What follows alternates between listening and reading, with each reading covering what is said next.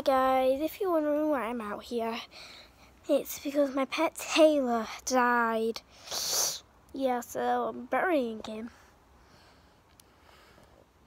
So you're gonna watch me bury him. I a spoon to dig a hole, and I'm just gonna take his box out. So this will be for the next pet I have. So yeah leave up there. Obviously, he's not moving. Shaked it. He's dead.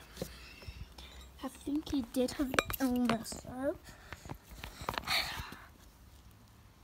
This might take a while so I'll be back when I go. I'm back. Okay, made a, a uh, deep hole. So, sorry guys, couldn't film then.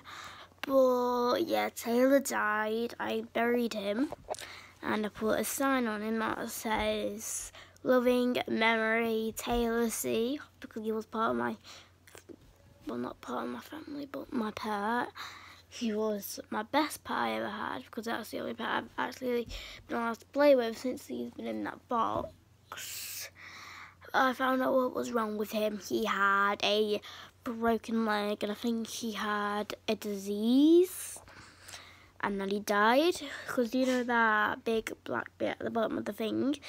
That's how he I think that's how he died.